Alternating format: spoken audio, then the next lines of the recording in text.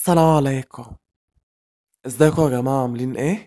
يا رب تكونوا بخير. إن شاء الله النهاردة هنعمل عيش البرجر أو خبز البرجر نسخة طبق الأصل من اللي إحنا بنجيبه من الشركات أو من ال... الهايبرات الكبيرة بالظبط. إن شاء الله الطريقة مش هتاخد منكم وقت ولا مجهود. هنشوف كل حاجة بإذن الله مع بعض. شوية ملحوظات هتفرق جدا. أعتقد من قريب عملت الفينو العادي بس تكون كده شوية عجين فايض مني. شكلته على شكل خبز برجر بس أنا طبعا معايا مقادير مختلفة لخبز البرجر. هنعمله بإذن الله بالطريقة الأصلية بالظبط زي ما أنتم شايفين الشكل عامل إزاي. رهيب جدا جدا. ومن جوه عامل إزاي؟ رهيب. بإذن الله طريقة مش هتاخد منكم وقت ولا مجهود في تحضيرها ولا مكلف على الإطلاق ولا هندهن الوش أي حاجة. وزي ما أنتم شايفين كل حاجة واضحة قدامكم. عاوز أقول لكم يا جماعة اللي الطريقة دي عجبتني جدا لأن أنا طبقت طبعا منها. كنت عامل برجر أو كده فطبقت جزء على سندوتش عشان أحكم على الطريقة.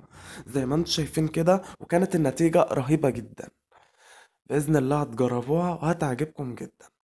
يا ريت بقى يا جماعة كل اللي لسه جديد ينزل يعمل اشتراك وتفعيل الجرس وأهم حاجة كل اللي موجود إعجاب للفيديو ومشاركة وتسيبولي تعليق عشان تعليقاتكم بتفرحني جدا.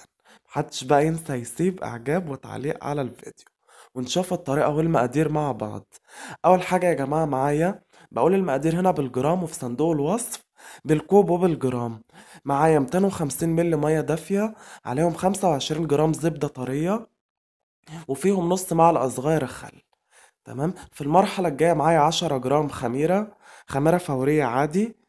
ببدأ كده اللي أنا أحطها على المية بتاعتي والزبدة والخل. وبعد كده في المرحلة الجاية معايا خمسين جرام سكر ومعايا خمسة وعشرين جرام لبن بودرة. زي ما أنتوا شايفين أهو. ممكن تستغنوا عن ال- الزبدة بزيت مفيش أي مشكلة. نزلت يا جماعة لهم بأربعة جرام ملح تمام؟ آه، بعد كده بقلب كده زي ما أنتم شايفين كده. طبعا الزبدة هتعمل تكتلات وطبعا الزبدة طريقة مش سايحة ليه؟ لأن أنا لما جربتها بالطريقة دي لقيت النتيجة أقوى. الزبدة واخدة كل حاجة العجينة واخدة النكهة كلها. نزلت بعد كده ببيضة تمام؟ الناس اللي عايزة تستغنى عنها تستغنى بس أنا عامل معاكم وصفة خبز البرجر بتاع السندوتشات. مش أي وصفة وخلاص. تمام؟ أنا بس بعرفكم يعني. وطبعا البيضه كانت واخدة مني ذرة فانيليا ما كترتش عشان طعمها ما يبانش ويبقى مش كويس. هي كده كده بدون أصلا ما تحط لها لا فانيليا ولا أي حاجة بالتالي مش هتبان لأن مجرب يا جماعة كل حاجة.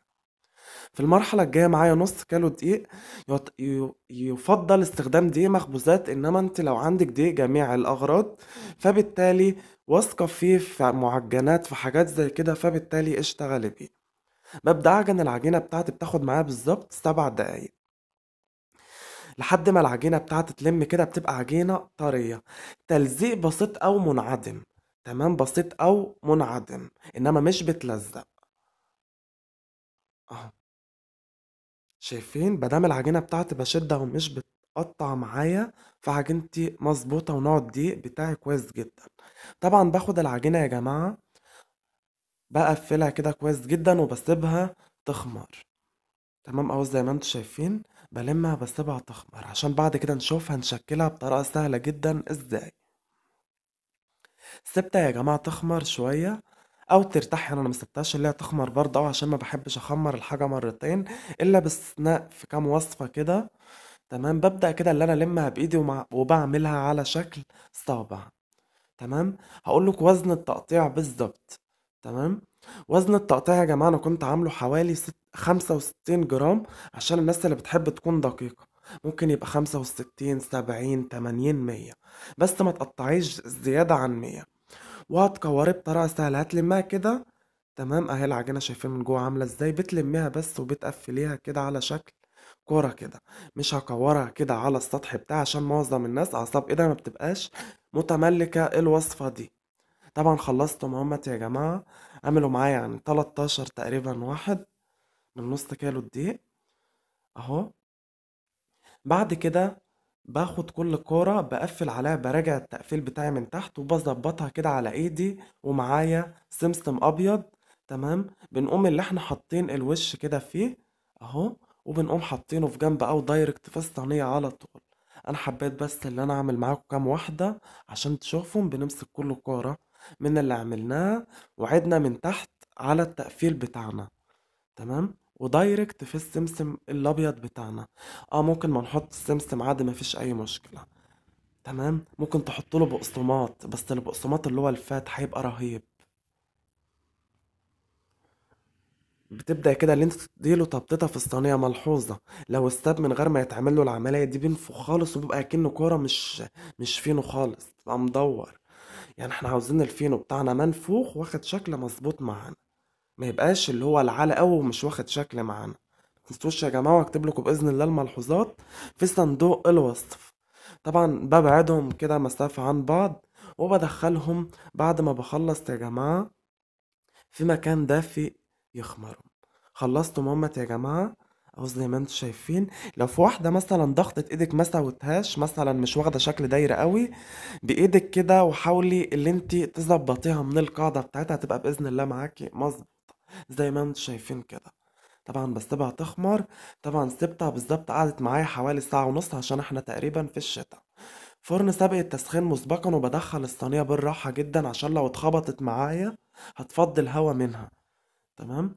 على درجة حرارة 250 بقعد معاها بالظبط 25 دقيقة. من فوق ومن تحت وقت ما ياخد لون من فوق بقفل على طول. شايفين يا جماعة كان جوه الفرن عامل إزاي؟ خد مني تلميعة زيت بفرشة كده. جميل جدا جدا.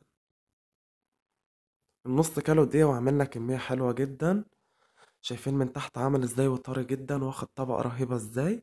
ومن جوه برضو عامل إزاي مع ان مقطع هو سخن. أهو.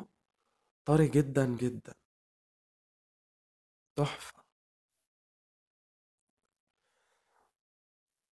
حاجة ما خدتش منك وقت ولا مجهود في تحضيرها ومطلع النتيجة اللي انت بتجيبي بيها من بره. تنفع معاك في السندوتشات في أي مناسبة في أي حاجة بإذن الله هتعجبكم جدا. ومن جوه برضو كمان واحدة أهي. متنسوش بقى يا جماعة تعملوا إعجاب للفيديو وتسيبولي تعليق واللي لسه ما اشتركش يشترك ويفعل زر الجرس.